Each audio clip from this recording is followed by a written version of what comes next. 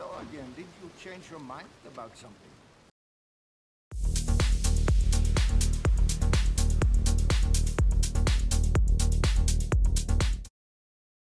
Howdy viewers, Brad, proprietor, Barstool Entertainment, doing another Red Dead Redemption 2 challenge video.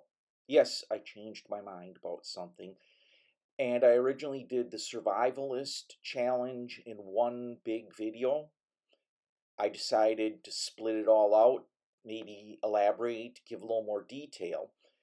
And this is going to be Survivalist challenge number three, where you have to kill five creatures with the varmint rifle. Doesn't matter what you kill, as long as you kill it with the varmint rifle.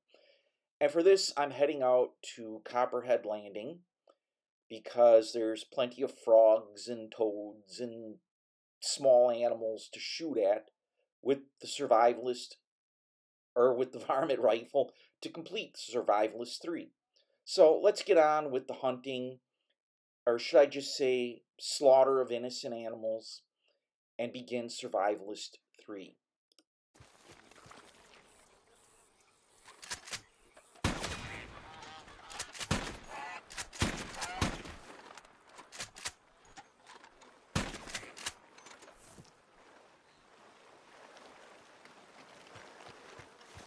Well, that's three creatures so far, and shooting this tricolored heron will give me a um, flight feather, which will help with a further challenge later on, and I will be doing a video of that challenge. But let's pick up the toad and the frog I shot, and then move on to kill a couple more animals with the varmint rifle.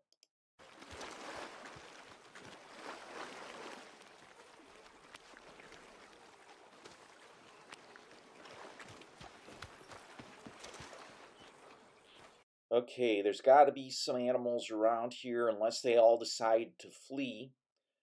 Um, there's that cabin I'm going to go by. Chances are I could get some rats, and I've already gotten a rat hat, so don't need any more rat corpses. But, you know, can always kill a few more rats. Doesn't hurt anything.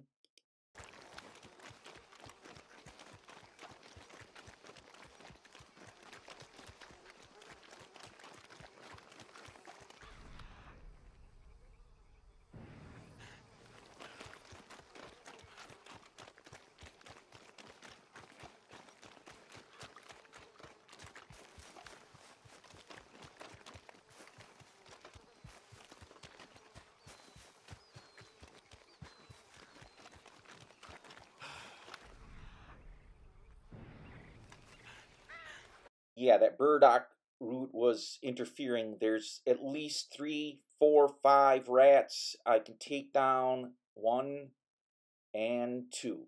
And Survivalist 3 is complete.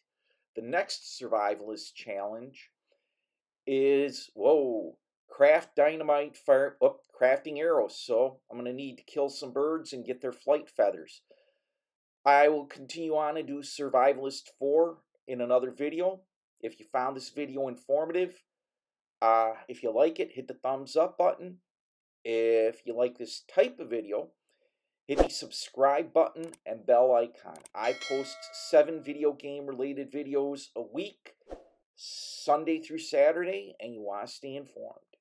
As always, thanks for watching. Thanks for surviving, surviving, or should I say thanks for subscribing, and thanks for stopping by.